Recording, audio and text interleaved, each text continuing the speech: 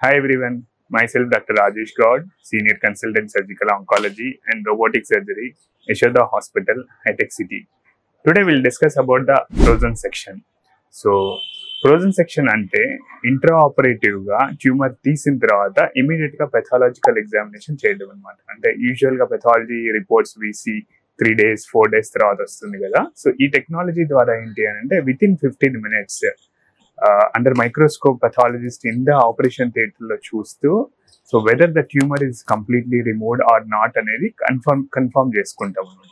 so ఎక్కడ వాడతాం ఈ టెక్నాలజీ మెయిన్ అంటే when there is a doubt whether అంటే ఆ tumour is a cancer non cancer అన్నప్పుడు ఆ ట్యూమర్ని కంప్లీట్గా రిమూవ్ చేసి then will send for frozen section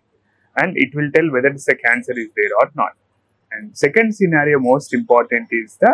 when to assess the margin status అంటే మన cancer సర్జరీస్లో majority of time the recurrences will mean the margin అంటే యూజువల్ క్యాన్సర్ సర్జరీ చేస్తున్నప్పుడు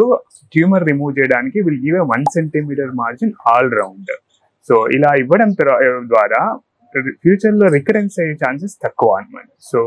కొన్నిసార్లు కంటికి కనిపించని కణాలు ఏమన్నా మిగిలిపోయి ఉన్నా so this frozen section because it will be done under microscope you can identify the the missed malignant cells so